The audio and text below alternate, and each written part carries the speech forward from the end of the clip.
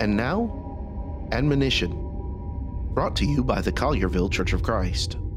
When you think of characteristics that you need to build into your life, when you think about things that God would want you to be, that would benefit others, can I recommend this one?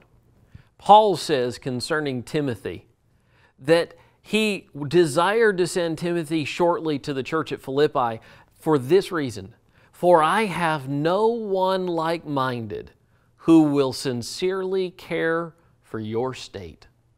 He's saying, of all the people who are my companions, of all the people who are with me, Timothy, I'm sending to you because he is so much like me. He cares for you. Do you care for others?